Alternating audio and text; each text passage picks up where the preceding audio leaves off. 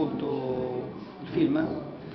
Allora, Mohamed il pescatore è la storia di Mohamed, un ragazzo mauritano che alcuni anni fa viene in Italia utilizzando i gommoni utilizzati da moltissimi altri migranti.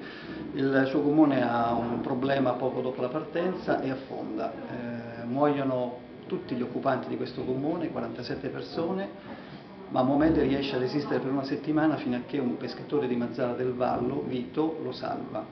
A quel punto vive in Italia alcuni mesi, poi andrà in Europa dove troverà un lavoro, ma decide di tornare in Sicilia per riabbracciare Vito e per ringraziarlo diciamo, del gesto dire, di amore che ha fatto nei suoi confronti per salvarlo.